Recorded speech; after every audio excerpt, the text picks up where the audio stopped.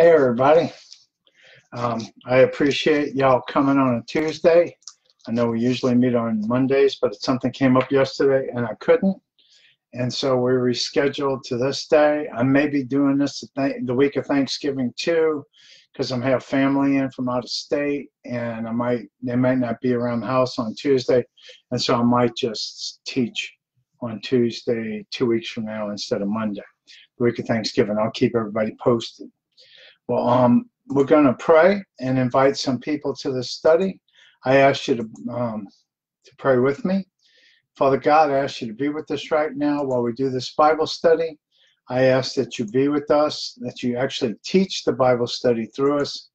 I ask that you be with us. And, and Father, I ask that you show us the things that you would like us to know. And, uh, and more than anything, we want to know you. So I praise you for that and I thank you for it in Jesus' name. Amen.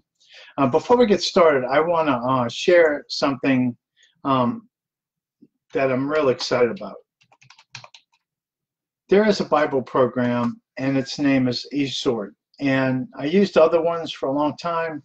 Uh, I got this one a few years ago, maybe, I don't know, maybe 15 years ago. You can get the King James and the King James with Strong's numbers for free all you have to do is is um, Google or Bing or whatever it is you do, search for that, eSword.com, I think it is. Um, I have a number of, um, I have everything I have pretty much. On my desktop, I can look at the Amplified, the American Standard, the Complete Jewish Bible, the King James, King James with strong numbers, Message, New American Standard, New American Standard with strong numbers, NIV, New King James, Revised Version, Tree of Life Version, Young's Literal Translation, and a whole bunch of commentaries. I, I mean, probably um, 30, maybe 25 commentaries. In addition, uh, today I purchased uh, something I've been wanting for a long time, and that is um, the uh, Word Study, Complete Word Study Dictionary in English and I'm sorry, in Hebrew and in Greek. And I have, I bought these things, I have them on paper. I'll probably still use that, but I've been wanting it digitally. It's on there. It is probably the best resource outside of commentaries I've ever used. I use them all the time. And so today, for I think uh, $30, I was able to buy the Hebrew and the Greek word dictionaries it looks at the words in context with all the modifiers around it. I don't know anything about Greek or anything about Hebrew, but I use these programs and I've been using this on paper. So now uh, it's available on the computer. I just want to recommend it.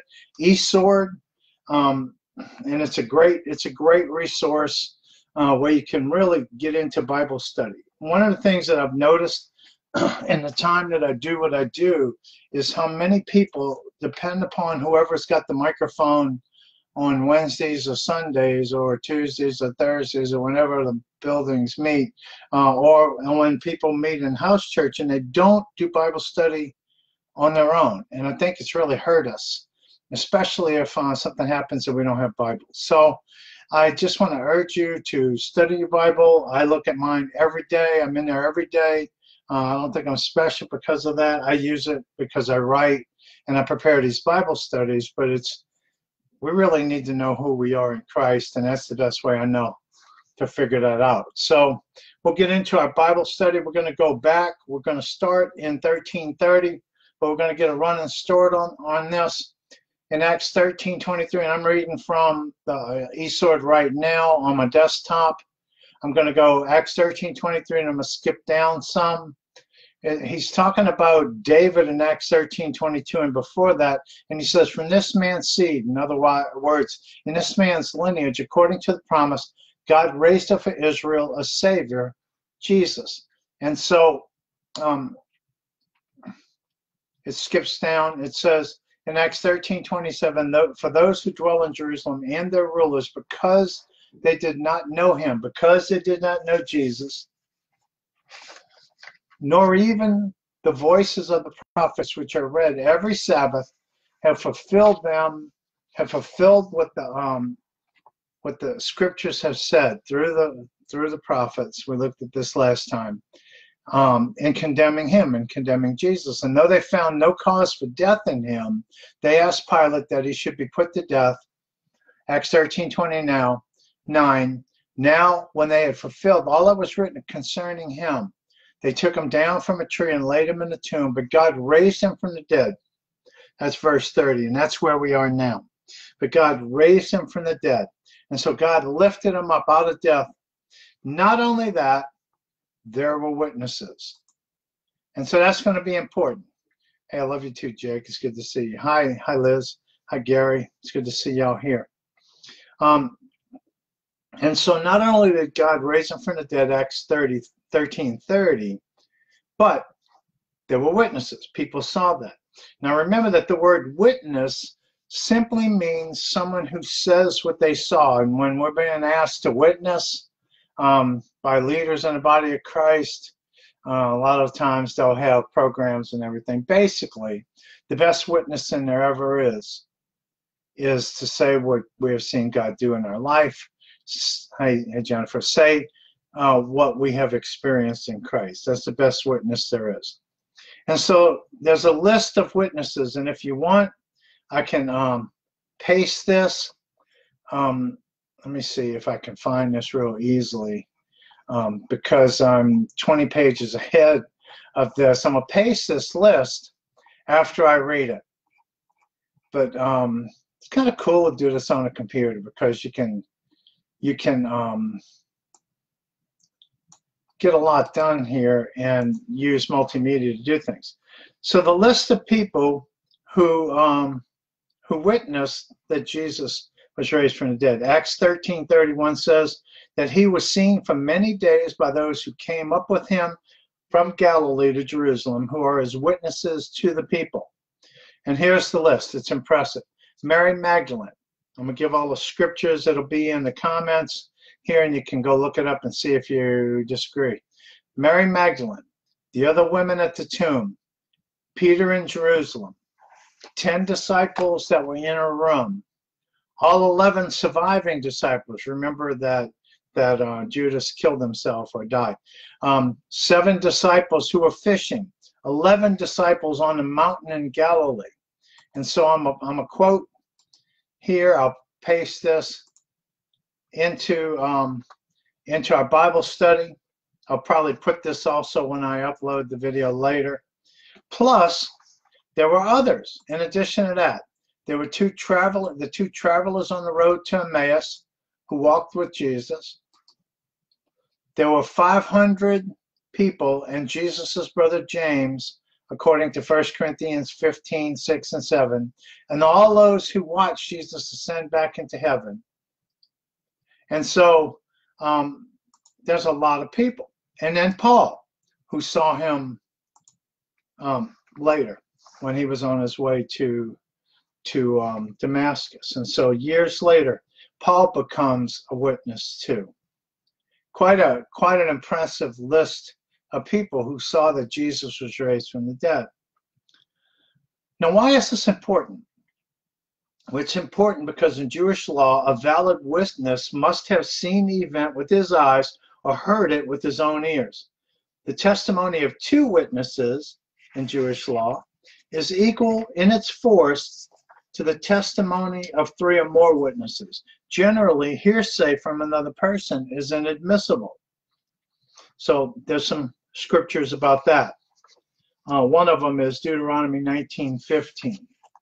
In Deuteronomy 19:15, this is what it said: One witness shall not rise up against a man concerning any iniquity or sin that he commits, by the mouth of two or three witnesses, the matter shall be established. So here we see that over 500 people saw that Jesus rose from the dead.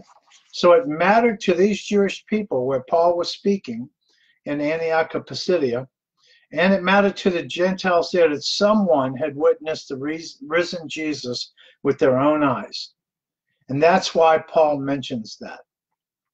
You know, he had to be dead or they wouldn't have buried him. They wouldn't have let him off the cross. They wouldn't have buried him. So they know definitely he was dead for three days, and then he rises from the dead, and uh, nobody sees him actually come alive from the dead. but people have seen that he had been risen. In Acts 13 32, I just want to say that of all the other leaders, of all the other major world religions, only Jesus has witnesses that he raised from the dead. The rest are still lying in their tombs, uh, decomposing. Acts 13 32, and we declare to you glad tidings, that promise which was made to the fathers. Now, notice that Paul says we. Even though Luke says that the group is, well, he refers to him in Acts 13 13 as Paul's party, he obviously sees what he's doing as, as he speaks in the synagogue in uh, Antioch of Pisidia, he sees it as a team effort. Now, the term um, declare glad tidings is a Greek word, euchlizo. Anyway, it's the word that we get eulogy from. E U G G E L I Z O. All I know is I Z O is pronounced Itzo from which we get the words evangelism, and we also get the word eulogy, eulogito. I guess that's how you say it. It simply means to announce good news. Now, Paul says that this good news is the promise which was made to the fathers. Next, Paul will back the statement up with some Old Testament verses with, with which these Jewish people are familiar. He's going to speak out of Psalm 2, verse 7, Isaiah 53, verse 3, and Psalm 16, 10. So he's going to quote out of these verses. And so I'll quote those right here. Um, I'm just going to paste what those verses are as soon as my word behaves and does what I want it to do. Um, I miss the days when I had somebody sitting with me who could just paste this stuff. Um, and so those are the verses that he's going to draw from. He's going to quote them in his text. These are all verses that the Jews of the day used in reference to Messiah. So he goes on and speaks in Acts 13 33. God has fulfilled this for their children. Remember, he just said in 32, I'll go 32 and 33. Hey, Jeff.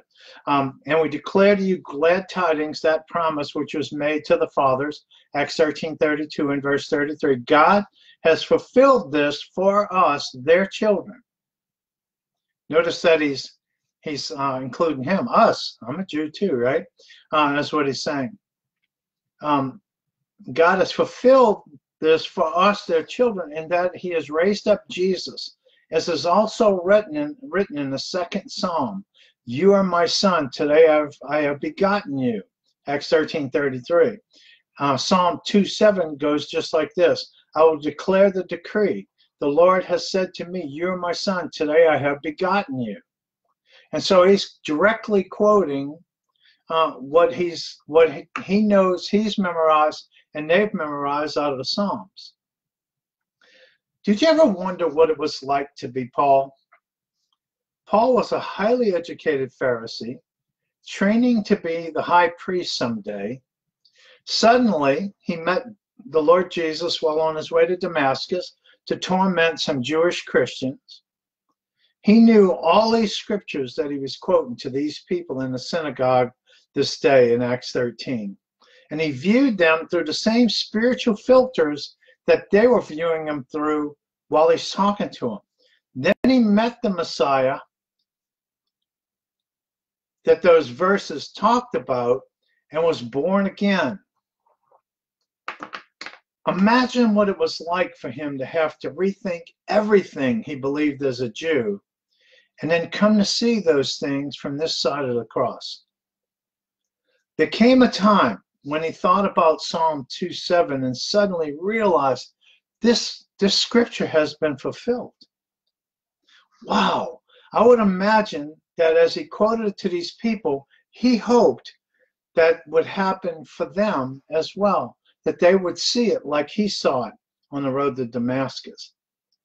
How shocking it must have been to those listening to him to realize that in Psalm 2:7, God the Father refers to Jesus as his son. This was publicly acknowledged in two places in the, in the Gospel of Luke.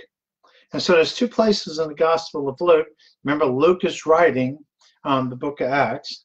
Um, the first, in which there's two places in Luke's Gospel in which God refers to Jesus as his beloved Son. The first is in Luke 3:22, uh, when he was being baptized by uh, John the Baptizer. He says, And the Holy Spirit descended in bodily form like a dove upon him, upon Jesus, and a voice came from heaven, which said, You are my beloved Son, in you I am well pleased. The second time was in Luke 9:35, when it says, and this is when I, th- I believe it's when they were on the Mount of Transfiguration. And a voice came out of the cloud saying, This is my beloved Son. Hear him or listen to him. Both these events were actually the fulfillment of Psalm 2 7.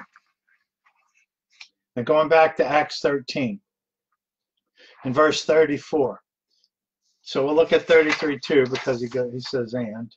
He says, God has fulfilled this for us their children, and that he has raised up Jesus, as it is also written in the second psalm, You are my son, today I've begotten you. And in verse 34, and that he raised him from the dead, no more to return to corruption. He has spoken thus I will give you the sure mercies of David. And Paul reminds them that God promised that the Messiah's body would never decay.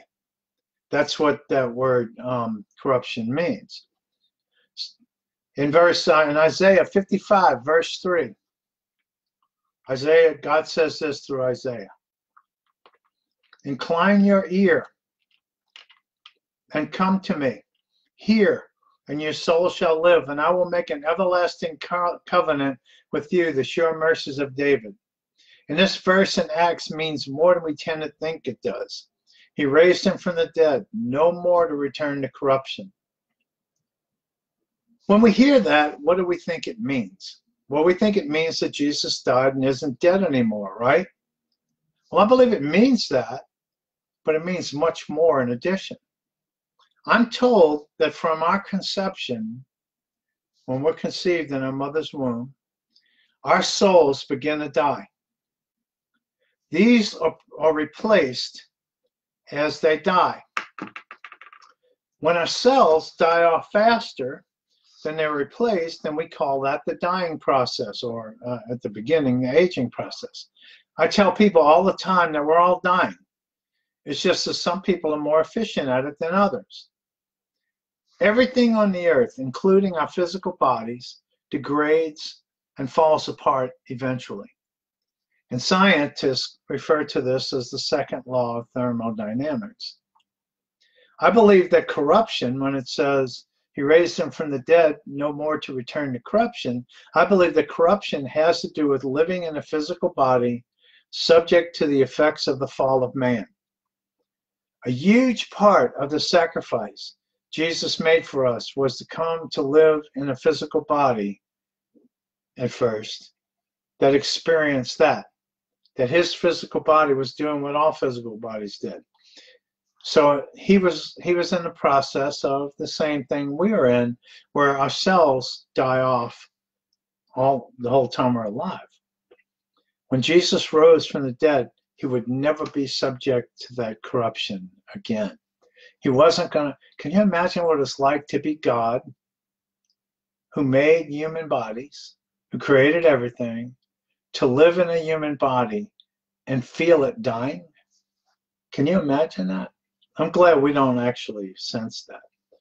In 1 Corinthians 15, verses 55 to 57, Paul wrote, O death, where is your sting?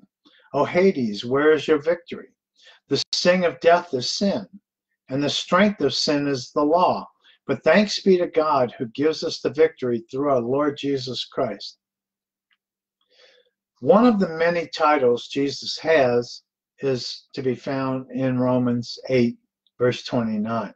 It's um, the firstborn of many. That's one of his titles. In Revelation, He's also known as the firstborn from the dead, and that's in Revelations 1 5, the first half of the verse. This refers to the fact that he has that he was the first to be raised from the dead like he was no more to return to corruption for him. Jesus is the firstborn of many and we who are saved are the many. Unless jesus returns first we'll all die eventually and after that we'll have to suffer we'll never have to suffer again. For us too there will be no more return to corruption. And that, my brothers and sisters, is really good news.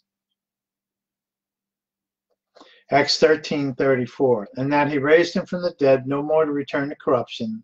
He has spoken thus I will give you the sure mercies of David.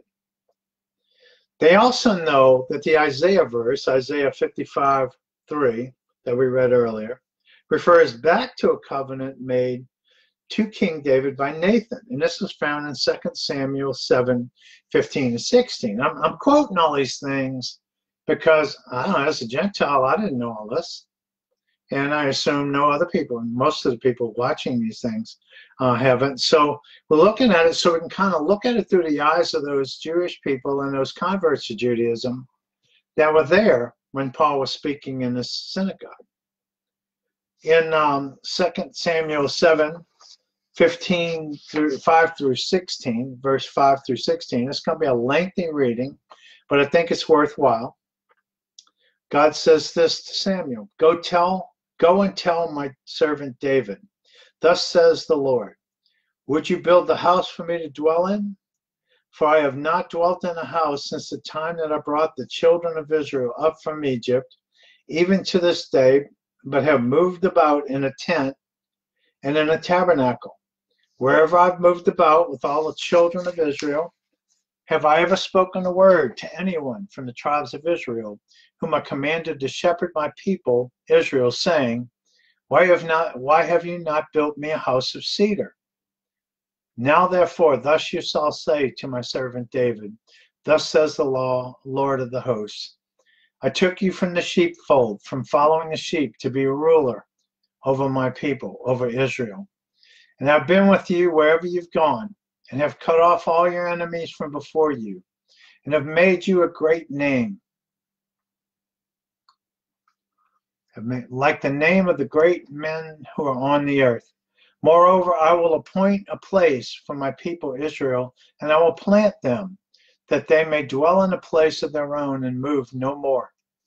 Nor shall the sons of wickedness oppress them any more as previously since that time, I commanded judges to be over my people Israel, and have caused you to rest from all your enemies. Also, the Lord tells you that He will make you a house.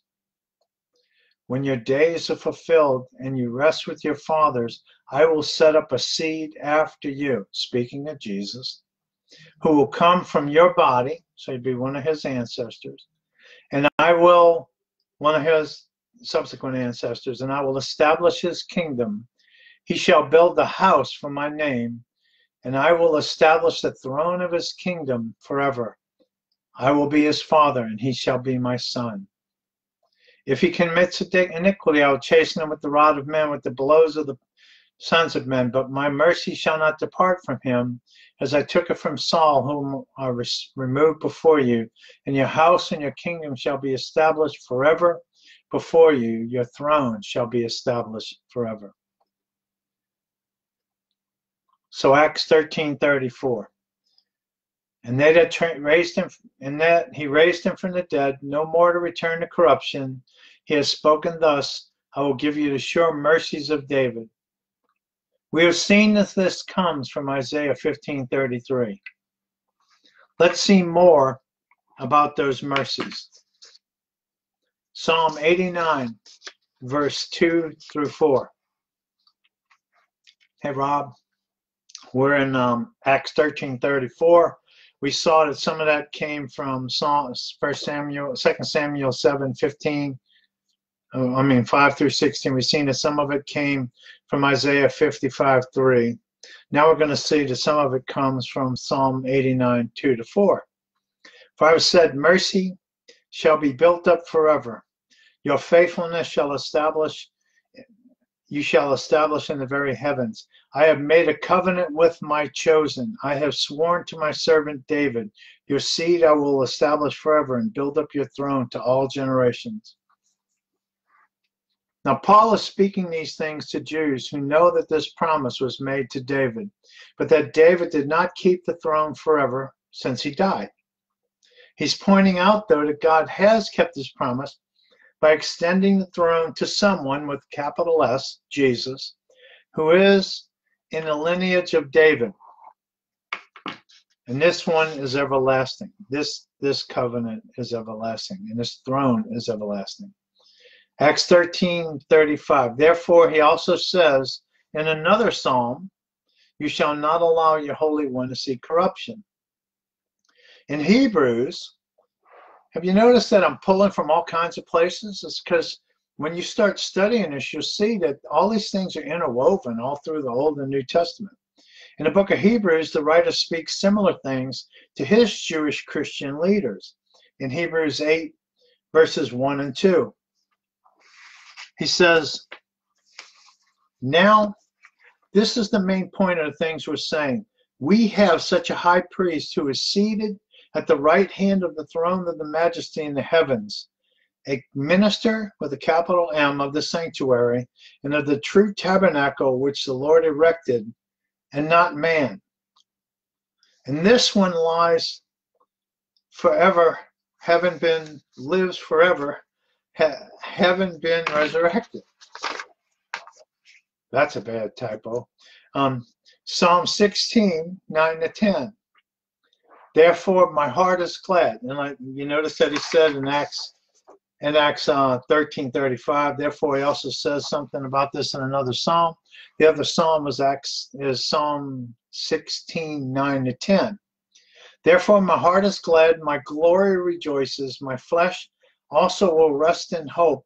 For you will not leave my soul in Sheol, nor will you allow your Holy One to see corruptions. Now, just to make sure his listeners heard him clearly, Paul says this in Acts 13 36. For David, after he had served his own generation by the will of God, fell asleep. He died and was buried with his fathers and saw corruption. Now, Paul honors King David by making sure he believes David that he believes David served by the will of God. He knew that David was an icon for these people and that they highly revered him. A word about serving by the will of God. David did what he did.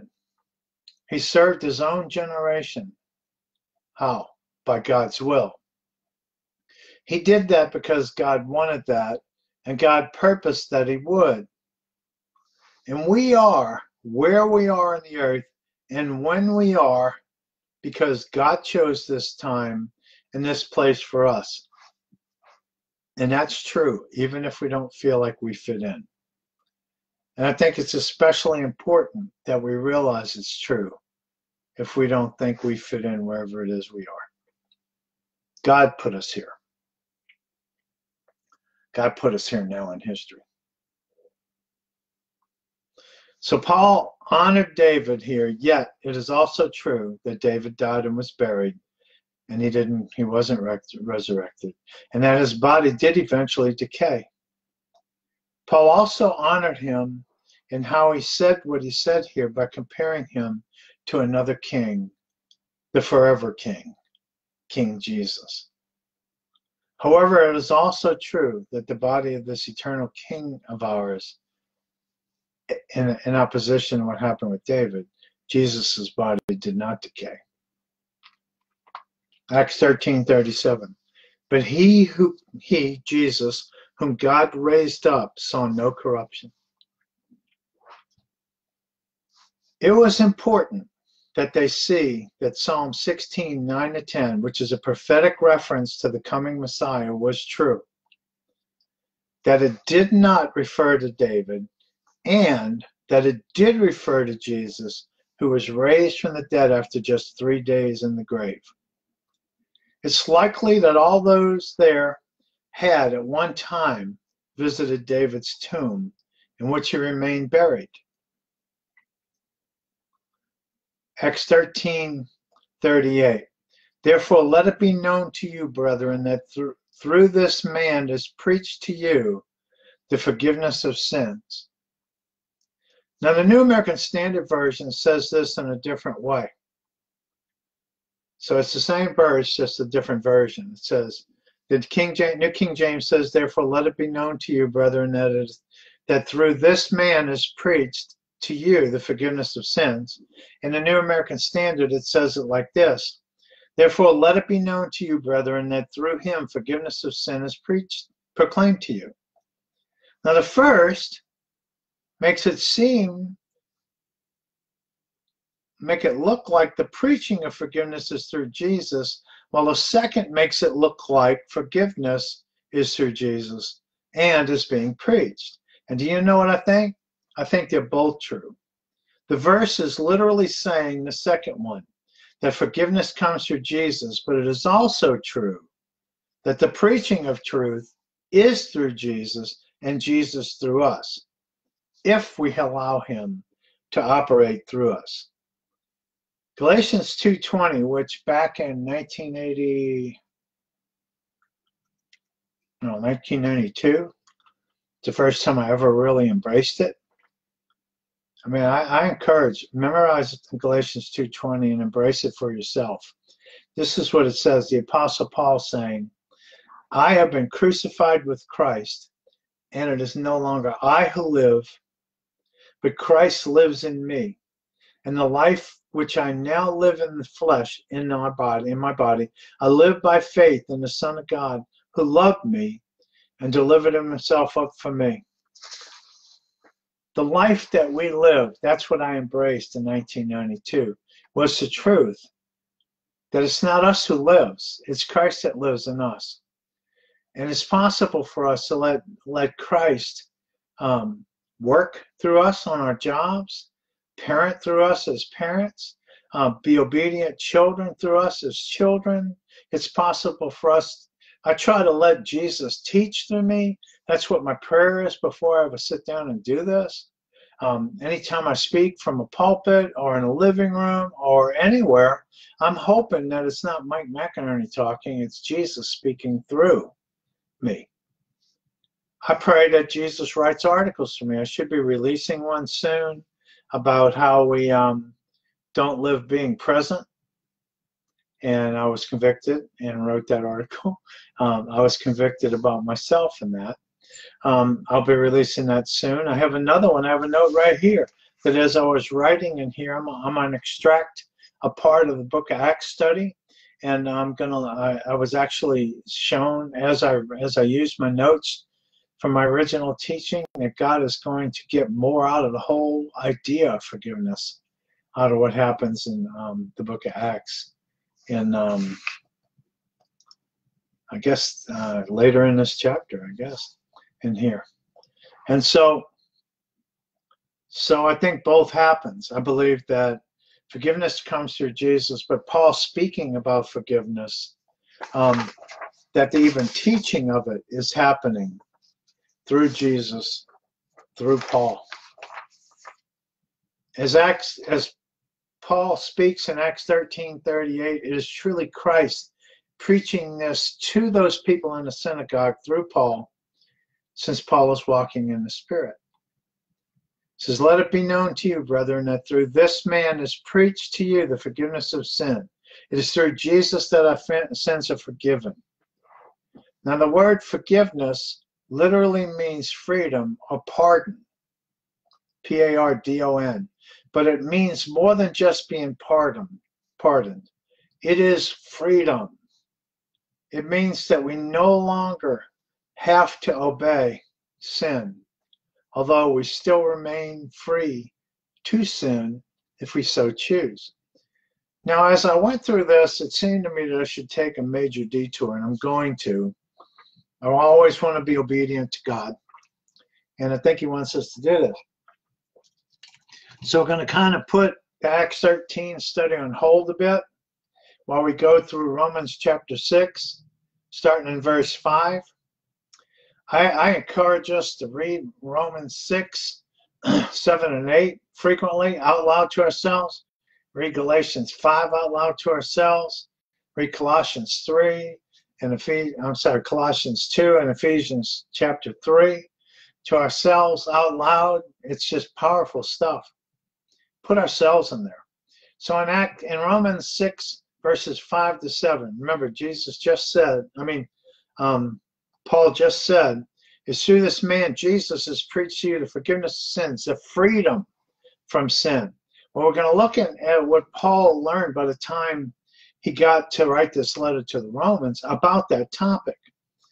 In Romans 6, 5 through 7, he says this For or if for if or since we have been united together in the likeness of Jesus' death, certainly we shall also be in the likeness of his resurrection.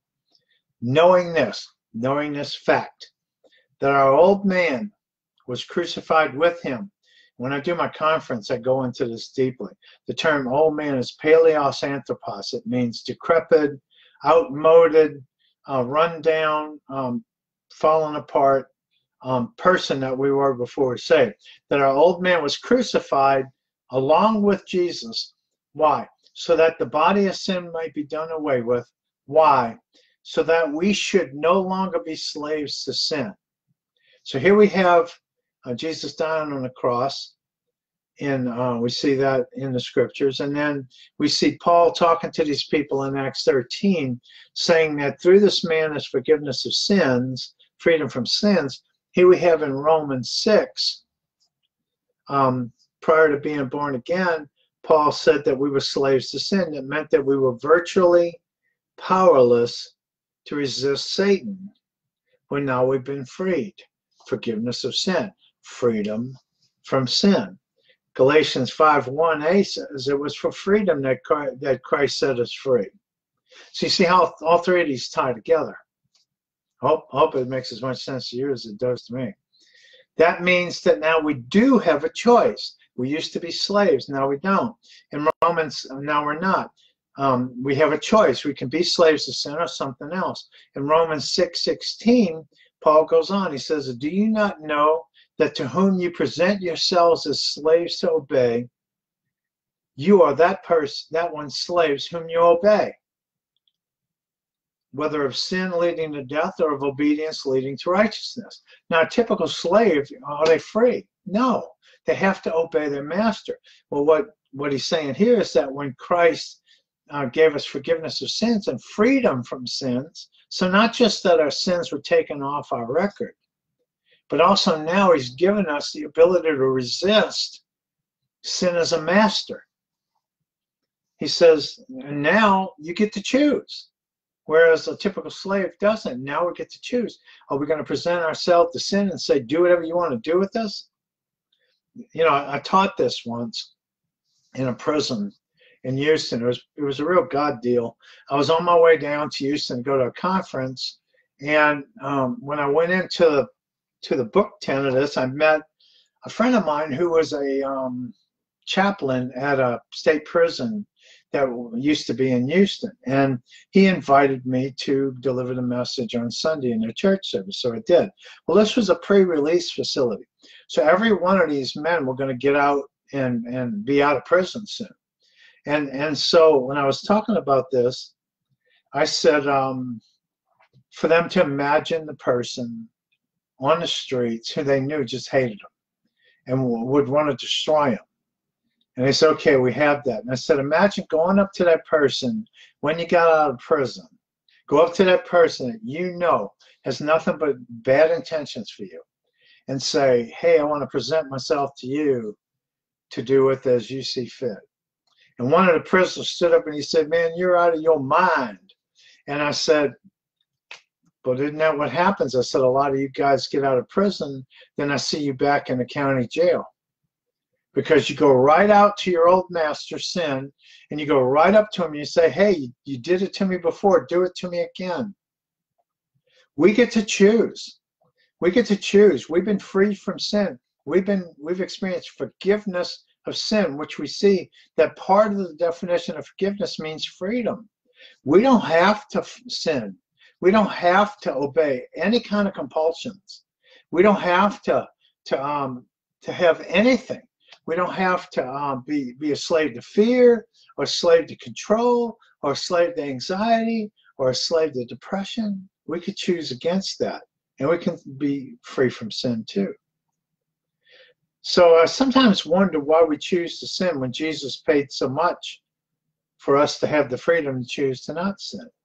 Then I realize it's because we don't seem to spend a lot of time meditating on exactly what all it cost him.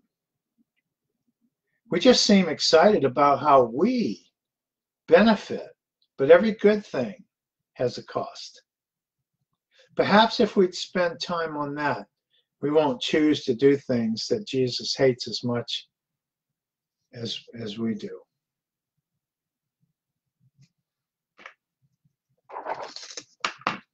Acts 13:38. Therefore let it be known to you, brethren, that through this man is preached to you the forgiveness of sin. So we might grasp better how important this is. Let's take a little trip back through Paul's spiritual logic, starting in Romans 6 3. This trip will land us right back where we are, uh, right back here in Romans 6:16, but it'll be worth the trip, I promise. So in Acts 6 3, he says, Do you not know that as many as us were baptized into Christ were baptized into his death? And most Christians, my experience is most Christians don't know the mechanism, if you will, by which we become born again. Paul says that we're baptized into Christ, in other words, placed into him when we're saved. And this happens when we express our desire to belong to him. Romans 10, 6 um, to 10. Romans 10, I'm sorry, 9 to 10, when we confess Jesus as our Lord. In Romans 6, 4, he says, Therefore we're buried with him through baptism in a death, just as Christ was raised from the dead, so that just as Christ was raised from the dead by the glory of the Father, even so we also would walk in the newness of life. This happened so that we could live differently, so we can walk in the newness of life. Why was this necessary? It is because our old way of living was to be in bondage to sin. And this happened so we can live differently. Being buried with Christ is a good thing. Being raised with Christ is even better. Christians get to experience both. He says in, in Colossians 2:12, buried with him in baptism, which in which you were also raised with him through faith in the working of God who raised him from the dead. Everything that happens to us in Christ is for a reason. In Romans 6 5, he says, For if we've been united with him together in the likeness of his death, certainly we shall also be in the likeness of his resurrection. And the Father's anticipation was that being united with Christ in death, we would look like him in the resurrected life. We would come to live after rising from the dead with Jesus. Romans 6 6 knowing this, that our old man was crucified with him, that the body of sin might be done away with, that we no longer be slaves to sin. He wanted us to know, knowing this. He wanted us to know that the old person we used to be, the habitual sinner in bondage to sin, died forever, so we would no longer be slaves in bondage to sin. Isn't this a grand plan? In Romans 6 7, he says, For he who has died has been freed from sin. And it's a fact. Dead people are free from sin. In Romans 6, 8 to 9. Now, if we live with Christ, we believe we shall also live with him. If we died with Christ, we believe that we shall also live with him, knowing that Christ, having been raised from the dead, dies no more. Death no longer has dominion over him. Remember that the wages of payoff of bondage to sin is death, Romans 6:23. Living as those raised from the dead are those as those who are raised from having to live in the wages of sin allows us to harvest that freedom that Paul was telling those people about in that synagogue in Antioch of Pisidia as recorded in Acts 13. Romans 6:10 for the death that he died he died to sin once for all but the life that he lives he lives to God. Jesus took us with himself through that. We died to sin once and for all. We no longer have to obey sin. So let's live this life to God and not present ourselves to sin. The next verse in Romans is the kicker. Our perception is so important. Not to fake our perception to try to make something be true, that's a form of sorcery. Rather, to see what is true and to agree with it, to perceive things as they truly are. In this case, it means to live as those raised from the dead, as those who are raised from having to live in the wages of sin. God told us that we died, past tense, to being slaves to sin. In reality, we are free. But if we don't truly agree with that, will we live it? No, we won't. And that's why Paul says this next in Romans 6:11. Likewise, you also reckon yourselves to be dead indeed to sin, but alive to God in Christ Jesus our Lord. This means that we are to choose to see ourselves. That is perception. But we choose to see ourselves as those dead to that bondage, as free ones. Why? Because we are free. As Paul teaches this, he acknowledges that we have a choice. We are free, really free, to do either. Before, as slaves to sin, we were not free. We had to sin. Now we can sin and suffer the consequences, of course, or we can choose to resist temptation and not sin. See, that is freedom. Either way, it's our responsibility, but now we're free to make the choice. That's why Paul was saying way back in Acts 13 23, I'm sorry, 33. Wait, let me go on. No, 38.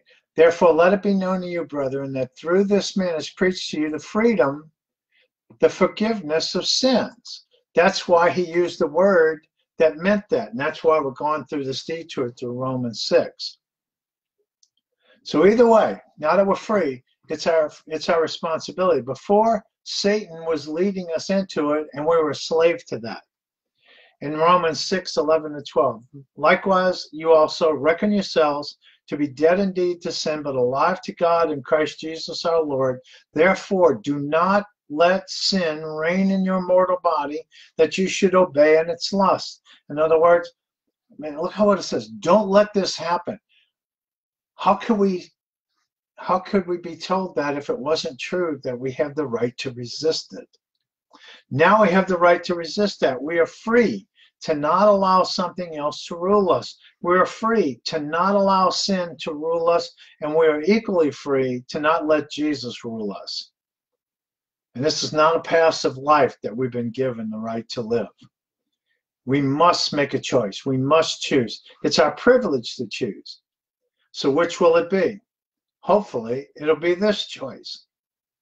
Romans 6 12 to 13 says, Therefore, do not let sin reign in your mortal body, that you should obey in its lust, and do not present the members of your your members as instruments of unrighteousness to sin.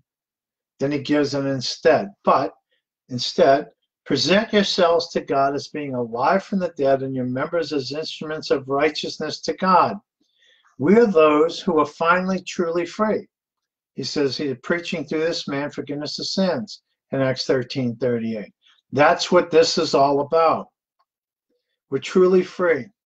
We have the right to present ourselves to be used by sin, to let sin use us. And I'll, I'll just say, if sin has a chance, it will not only use us, it will use us up. So we can let sin use us, or we can present ourselves to Jesus to let Him utilize us.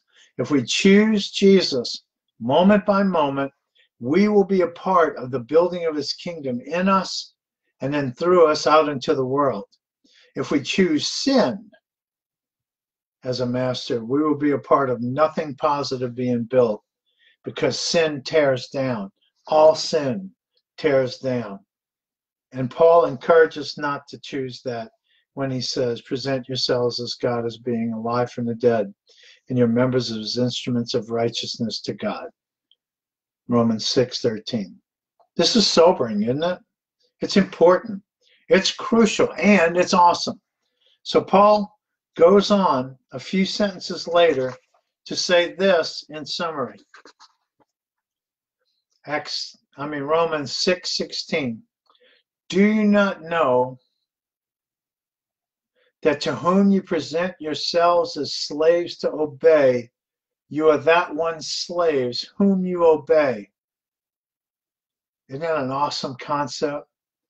What are you going to pick? Are you going to say, well, I could do this thing that I know is a sin, I can obey that, and I will become its slave? Or I can choose God who has a track record for, for doing things that cost him so we could benefit. I can choose to obey him, become his slave that will result in righteousness. He says, Do you not know that to whom you present yourselves as slaves to obey, you are the one slaves whom you obey, whether of sin which leads to death or of obedience leading to righteousness? I think in everyday life, when Satan does pretty much what he did with Eve, when he holds out some benefit, he says, "Here, where's my hand? Here, take." Man, that's that's irritating, isn't it? Uh, when when he holds something out and he says, "Here, take this." Oh, here are all the benefits to it, and, and we have our blinders on, and we say, "Okay, I can do this thing that I know is wrong, but I'll get this benefit out of it." We don't see the fact that at the end of that is going to be a sensation of death and maybe eternal death. We don't look at it. We just let it do it, whatever it wants to do to us. We live kind of on autopilot. We live by our appetites. We live going, I want this, and I'm going to get this, and I don't really care what it costs me until we're laying there and things are going wrong and everything's falling apart. And we go, I don't know why God's doing this to me. We do it to us. He doesn't. In Christ, we get to moment by moment choose our master. Outside of Christ, before we were saved, we never had that chance. We never had that option. Now we do. So let's actively choose Jesus. In the word of Moses, which was spoken long before Jesus showed up on the earth, in Deuteronomy 30, verse 19 and 20. Moses said this I call heaven and earth, and earth as witnesses today against you, that I have set before you, and I'm going to say, I'm going to paraphrase, two things life and death, blessing, life, and cursing, death. Therefore, choose life, that both you and your descendants may live, that you may love the Lord your God that you may obey his voice and that you may cling to him. Why? For he is your life and the length of your days, and that you may dwell in the land which the Lord swore to your fathers, in Abraham, Isaac, and Jacob, to give them.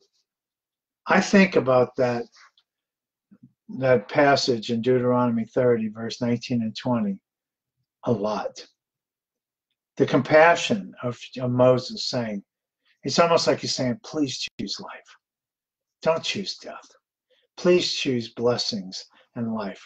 Don't choose cursing and death. Well, he says, so I urge you that you may love the Lord, that you may obey his voice, that you may cling to him.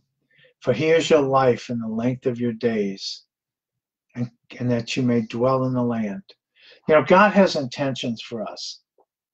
You know, a lot of evangelists say this, and it comes out of the scriptures, that God has a beautiful plan for your life. He says, I know, I know the plans I have for you, to bless you and curse you not. So, so he has a plan for us. That's the land that that um, Moses was talking about. As it was then, it is for now, now for us in Christ. Which will it be? What are we going to choose? When someone points out to us that what we're doing is sin, when the scriptures do, when the Holy Spirit nudges us or, pinches us or however he convicts you. Sometimes when he convicts me, it's like I've been stabbed in the heart. When he does, what are we going to do? Are we going to ignore that? We're going to push past it like it's some kind of Holy Spirit indigestion. We're going to keep doing what we're doing and get some earthly thing, some temporary relief or some temporary something that's going to go away. The Father loves us so much. He loves us so much that he placed himself at risk of disappointment and pain and agony should we choose sin as our master. We go through that. We're not the only one who feels the death. God is with us. He experiences it with us. It was worth it to him that we'd be free. We have such an awesome Father. He is real love. We just took a short detour into Romans after reading this verse in Acts. Therefore, let it be known to you, brethren, that through this man, Jesus, is preached to you the forgiveness of sin. And we saw that one of the um, expanded definition of forgiveness was not just to be like have the sin taken off our record, but also cleansed out of us, but also that the death grip of that master of sin be ripped away from us so that we could be free to resist sin. Sometimes people will ask me why I take so many rabbit trails when I teach, and my answer is that I try my best to follow the Holy Spirit as I teach. This last detour was because I sensed that I needed to do that. That God the Holy Spirit wanted me to do that because somebody that's either watching us now or will watch it later when it's posted to YouTube, um, that somebody needed to hear it. Maybe I needed to hear it again. For this reason, it's not a detour at all. Rather, it's an act of obedience to an active God who is always alive and always paying attention. And I'm telling you, I'll never apologize for obeying the Lord. Acts 13:38 Therefore let it be known to you brethren that through this man is preached to you the forgiveness of sin sins. Now Paul has just led his listeners in that synagogue right up to Jesus. The therefore, therefore let it be known. The therefore in Acts 13 38 means that based on an incredible fact I just shared, do something. The something, let it be known to you, is some valuable information that through this man Jesus is preached to you the forgiveness of sin. Before looking at Romans 6, we talked about how this means that it's through Jesus in us that this is preached, and about how it also means that forgiveness itself comes through Jesus. We also defined forgiveness as several things pardon, deliverance, forgiveness as we know it, liberty, and remission. We talked about how it not only removes the offenses from our record, and this is so cool, but it also gives us liberty from those offenses and their effects. It is amazing how few Christians seem to understand that there are many sins we've committed that can have a lasting effect on us. This doesn't just mean the earthly consequences. What I'm talking about is the lasting bondages that, to those sins that take root in our hearts, making us slaves to them. And these cause us to think, decide, and feel things that further affects our behaviors. When Paul says that through this man is preached to you the forgiveness of sins, he means that forgiveness also addresses this. Forgiveness brings liberty and freedom from having to obey those things. Forgiveness of sins is huge. When we receive this truth, and that is our primary responsibility in this, it is important that we walk in it, our secondary uh, responsibility, and apply it to those besetting sins and resulting bondages, which is our tertiary or third level responsibility. A lot of what we call deliverance, or is called deliverance in some parts of the body of Christ. In fact, it's just that.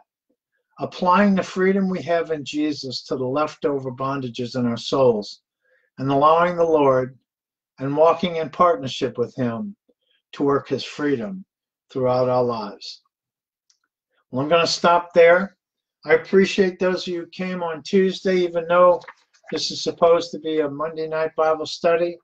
I had something very important to do this weekend. Five years ago, yesterday, our third granddaughter, Annalise, was born.